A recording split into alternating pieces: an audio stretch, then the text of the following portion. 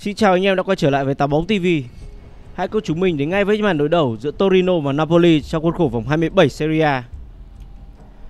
Trận đấu sẽ diễn ra vào lúc 21 giờ Chủ nhật ngày 19 tháng 3 trên sân vận động Olympic Great của đội chủ nhà.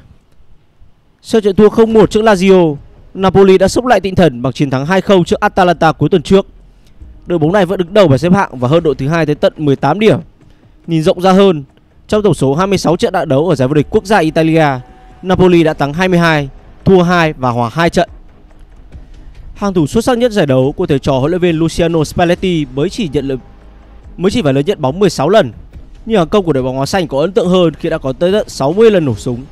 Con số này đã chứng minh được rằng đây là hàng công có đầu ra bàn thắng tốt nhất Serie A. Cái tên đáng chú ý nhất trong đội hình của Napoli là Osimhen. Tiền đạo này đã có 19 bàn thắng cùng 4 kiến tạo cho đội bóng chủ quản. Đứng đầu danh sách vô phá lưới Serie A.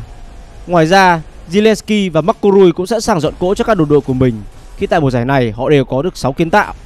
Không thể không nhắc đến Vincha Kvaskelia. Tiền đạo cánh này đã có 11 pha lập công và 9 lần châm ngòi cho các đồng đội. Nhìn chung, không có gì để chê hàng công của Napoli khi các thông khi các thông số về bàn thắng lẫn kiến tạo của họ đều xếp top đầu Serie A.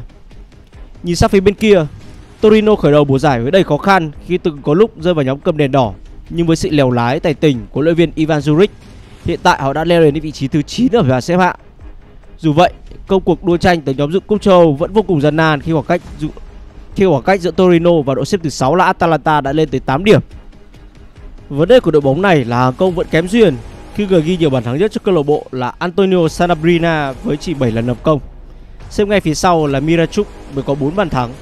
Ngoài ra cầu thủ này cũng là chân kiến tạo số 1 của câu lạc bộ với 4 lâm chân ngòi cho các đồng đội của mình. Napoli hoàn toàn có thể clear được mức chấp trừ 0,75 khi đang sở hữu phong độ tuyệt vời và dàn nhân sự ăn ý hơn bao giờ hết. Mức tài xỉu của nhà cái đưa ra là 2,25. Anh em hãy mau đi tài trận này vì cả hai đội đều sở hữu phong độ cao và cơn mưa bàn thắng là điều được dự đoán từ trước. Trên đây là một số nhận định của chúng tôi, còn quyết định là của anh em. Chúc cho anh em sẽ có một lựa chọn thật sáng suốt khi đặt cược vào hai trận đấu này. Đừng quên nhấn like và subscribe kênh của Tà bóng đá TV để cập nhật sớm nhất các kèo hay, hấp dẫn cả ở trong và ngoài nước nhé. Xin chào và tạm biệt. Hẹn gặp lại anh em trong các video lần sau.